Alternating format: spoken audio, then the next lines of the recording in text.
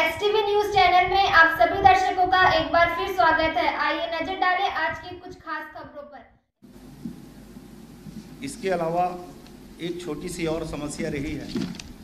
विगत दिन आप सबने मीडिया के माध्यम से ये आप सबने ये जाना है कि हमारे निज सचिव रहे हैं।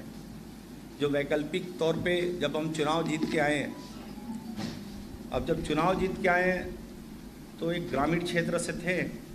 रायपुर में हमको तुरंत विधानसभा सत्र शुरू हो गई। तो हमारे पुराने साथी जब हम शिक्षक रहे हैं उस समय पत्रकारों के साथ हमारा अच्छा उठना बैठना था। तो मानिकपुरी जी ने कहा कि गरीब लड़का है इनको कुछ दिन आप अपने पास रखें और इनको काम दें। तो निश्चित एक, एक अच्छा शुरुआत होगी। लेकिन उनके द्वारा कूट रचित योजना के तहत फर्जी लेटर पैड में स्वयं सिग्नेचर करना और सील लगा के दस्खत करना, ये पकड़े गए जब मंत्री जी पर काम के नाम से दोबारा हमसे फ़ोन किया और फिर नई सूची मंगाई, तब ये खुलासा हुई और हमने पुलिस को सौंपा भी था। लेकिन आज उसी प्रदेश में ये लगभग चौबीस चौबीस घंटा के अंतराल में उनके पीड़ित पक्ष के लोग, उसके पत्नी, उनके छोटे छोटे बच्चे ये सारे लोग मेरे पास गिड़गिड़ाने लगे, रोने लगे।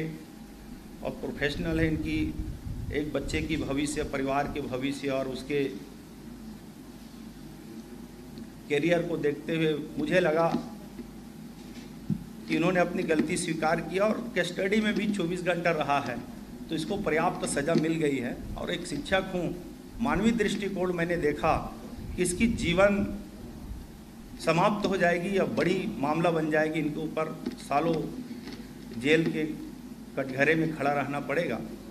तो उन्होंने क्षमा याचना मांगा है और क्षमा मांगा, याचना मांगा है तो हमारा भी कर्तव्य बनता है, क्योंकि हम शिक्षक रहे हैं।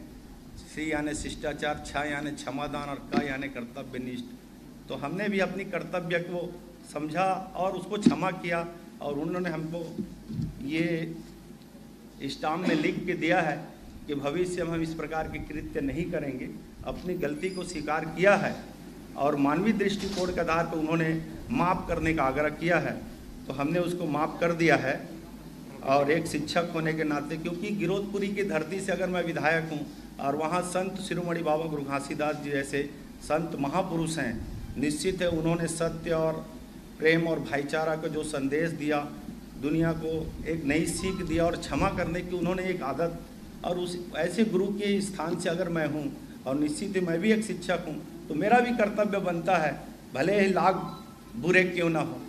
एक अवसर हम उसको भी देते हैं, लेकिन आज के बाद वो मेरे ऑफ़िस में कोई काम नहीं करेंगे। वो दुनिया अपनी नई नई शुरुआत करे, नए तलाश कर ले, लेकिन मेरे ऑफ़िस में काम कोई नहीं करेंगे वो। इन्हीं शर्तों के साथ मैंने उसको माफ़ किया है। इसकी कापी मैं आपको दे दूँगा, ये मिल जाएगा।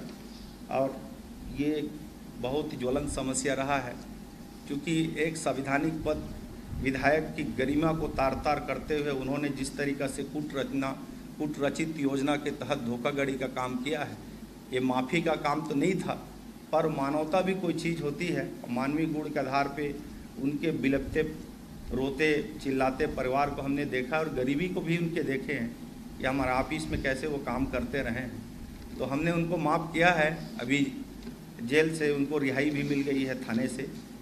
एफआईआर दर्ज नहीं हुई थी, बस इंक्वायरी चल रही थी। और इसमें सारी बातें हैं जो आपको